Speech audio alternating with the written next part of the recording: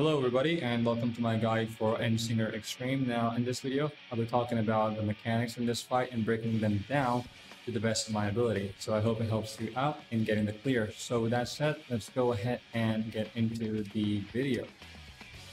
Now once the fight starts, there will be a massive raid wide, Elegeia Unforgotten, and once that happens, two planets will spawn around the platform and there will be a head in the middle will be facing in a random direction and let's check it out. So the raid light goes off, we have the planets and we have the head. So real quick, what the head does, it will face in a random direction and cleave half the platform. That's basically what it will do. So keep that in mind and save for later. And as for the planets, now this can either be a red one or a blue one. Is there going to be red and blue at the same time? Is that going to be a set of red or a set of blue? The order for the first one is completely random. Now, what the red planets do, they basically have a huge circular explosion chariot and you have to avoid that because if it hits you are 99% dead because it hits too hard and gives you a one stack as well so when the planets spawn, you need to find one one of them. That's pretty much it. Just find one and see if it's moving slow or fast. Let's check it out. Alright, so this planet is moving slow and I'll move away from it to avoid the explosion. Why? Because in in this mechanic, whether it's blue or red, the slow moving planet is always going to be the origin point, the collision point for the mechanic. So in this case, it's going to be an explosion. We have to avoid it. So that happened. The explosion was over here. We moved away from it. And while we did that, the head will cleave this side of the platform because it was, facing in that direction.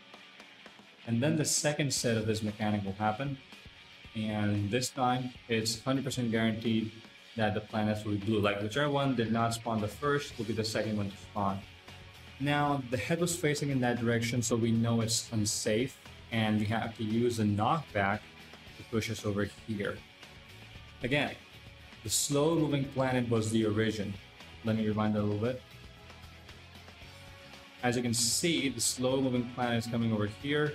This is where the uh, collision will happen, and we have a knockback. Let's check it out. The knockback happens. I go over here, and then I use a gap closer to fill in the gap. So real quick, knockback immunities are not gonna work over here. I tried that. Inner release, arm's length, not gonna work. However, you can use a gap closer to sort of work your way around real quick.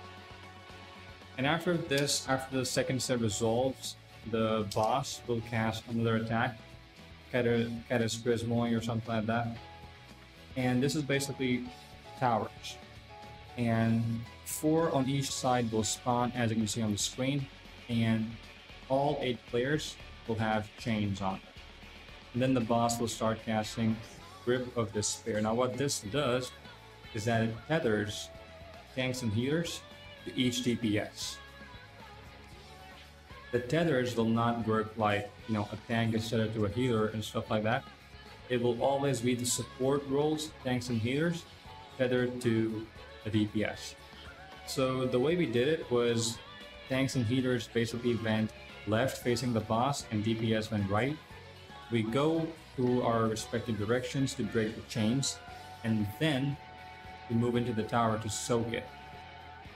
Now real quick, if you don't break the chains in time, you will take damage and it'll give you a long stack as well and basically kill you if you're not in tank.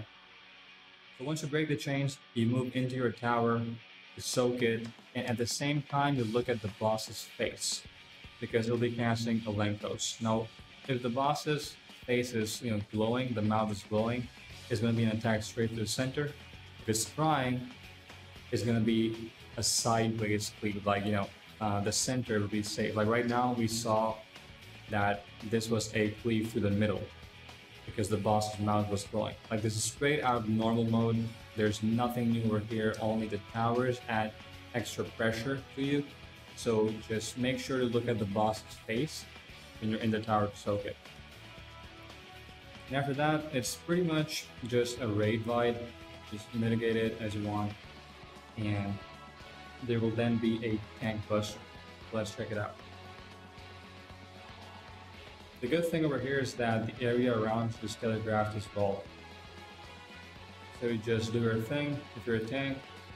And after that, we will have the same thing again, the planet mechanic, Legion forgot it. However, this time will be an added layer to make it more, uh, you know, more of a technical thing. So you look for one planet, you adjust yourself for the knockback, and then this time the boss will start casting Eironeia. Now this is a stack mechanic. Both of your healers will be targeted with a stack, and you have to use the knockback to position yourself in the safe spot. Now I didn't do this right because I you know didn't position myself accordingly, and it sent me to the wrong side of the platform, and now I'll get beat.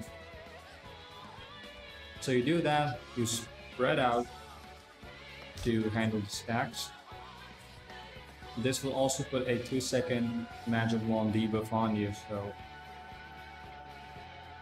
So once that is resolved, the boss will cast Fatalism. It will basically rebind the collision that just happened. So let's check it out. Oh, okay, so over here, we have two sets, right? The thing that you need to know is that one of these sets is going to materialize faster. And that is the set that will go first. It needs to be resolved first. So let's take a look. Alright, so the one behind me was the first one. So I'm moving close for the knockback. It pushes me over to the other one. And then I use the other set to get myself knocked back and then position in for Elenchos. Again, now after every major mechanic in this fight, the boss is going to use Elenchos. So you need to be like positioning your camera in a way that as you're doing the mechanic, you see the boss and his face and handle the mechanic properly. So what basically happens over here is that five heads will spawn, right? After that, the boss will start casting Euphorion Forgotten, and you have enough time to find a safe spot to go into. What happens is that the middle head is going to cleave aside. So over here, it's facing in this direction towards the north. This entire half platform is unsafe, meaning that these two heads cannot possibly be the safe spot, even if they are, you know, a donut. Let's see, real quick. Right, so we see the donut over here, but it's not the safe spot because this head will cleave this entire area. So we move over here, we have enough time to do that. And then we can max melee the boss for uptime. And then we rotate clockwise and you saw that the head rotated clockwise as well. Remember that this is the first cleave, the north side. It's really important. Move clockwise, the boss leaves the east end we move clockwise again, and now the head leaves the south side. Alright, so we remember that the head in, in the middle leaves this half first. That is really important. Alright, so now the rings appear, right? It has three rings, meaning it will rewind three times. That means one ring this is the side it will cleave. Second, this, that's the second rewind. And then third is the third rewind, meaning it'll go back and cleave the northern side. What that means is that this side is not safe anymore either. It's not. So we can go over here to resolve this mechanic because this middle head has three rings. And it will rewind three times. Twice. Remember when I said take note of first sided cleave. This is why. So now you know that the northern half is not safe, meaning that you only have to decide which of these platforms, these heads, are safe. Now we started over here previously and then moved clockwise to this safe spot, right? What that means is that this area is going to be the opposite. Let's check it out.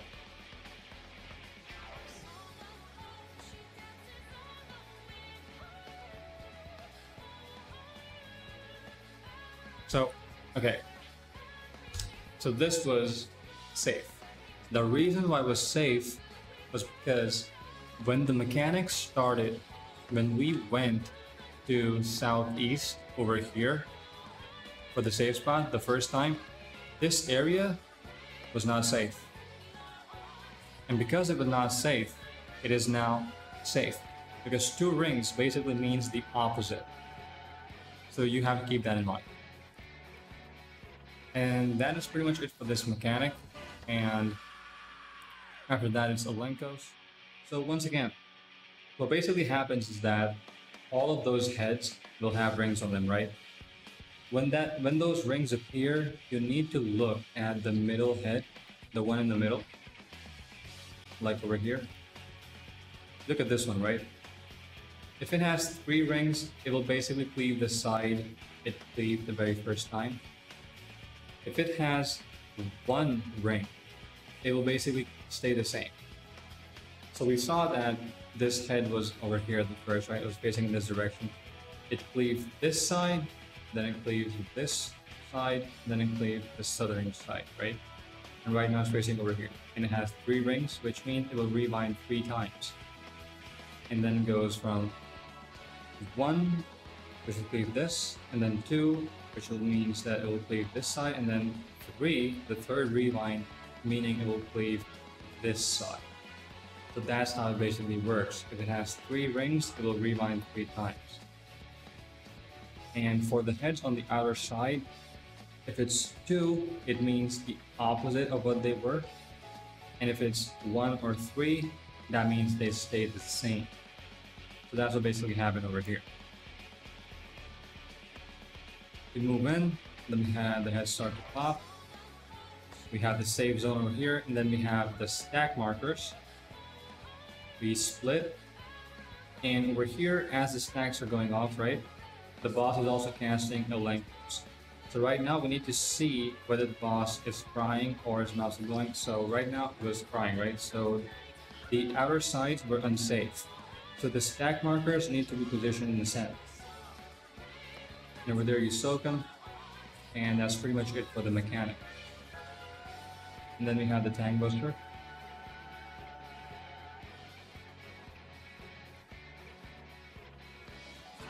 Nothing much for now. So this is the next major mechanic. And if you've done E12S, this is basically like intermediate relativity. There are four mechanics. There's this one, a donut, basically like the ones we just saw in the five heads. It's a donut. And then we have, you can see the indicators over here. We have a stack and we have two proximity uh, markers. So how you handle this is that the proximity markers move out towards you know, of course. The, the rings, the donuts, we stack on one. So you can see the markers over here, right? So you can assign positions to your party members, but the idea over here is that the proximity markers go towards the outer edge of the platform. And the ones with stack and donuts stack on one. This allows us to resolve the mechanics without any issue. And after that, there will be a second set. Now keep in mind that we have the debuff over here, right? Number one. This is basically recording each mechanic. So right now it's one. This is the second set. I have flare right now, so I go over to the A, and now it will go off. And see, the stack changed to two.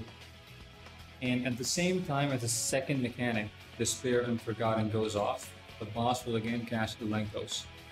Again, keep in mind, after every major mechanic, the boss will cast Elenchos. So you look at its face, she's crying, the center is safe. So you go there, and now we wait for the third, Despair Unforgotten Echo. Okay, so this time we have the, this is the fourth mechanic, and you know, fourth mechanic and Despair Unforgotten, the fourth possibility. big purple AoEs on each character, each player. So um, to be honest, we just winged it over here. Uh, there were no designated positions. So that's pretty much how you resolve those one by one, right? But right now, again, Fatalism. You can also use this mechanic to sort of understand how the five heads work. So right now we had three uh, mechanics to sprint forgotten. I had the donut first, then the flare, and then the big purple AoE. Now I have two rings on me. That means I am being revived two times in the past, right? So I will be having the flare over here to deal with. So the cast goes off and I move away. It takes a while to pop like the five heads and then it appears. See, I have the flare marker. So this basically sort of explains how the five heads work. Like Twin Songs of Aporrhoia is like the probably the most challenging mechanic of this fight, to be honest. And that's basically how you uh, deal with that. It's really easy. And Telomania is basically that uh, raid bite attack from normal mode, the really cinematic one. Next mechanic is End Euphoria. What happens over here is that these heads again will spawn towards the uh, outer side of the arena. And then the boss starts casting Endsong.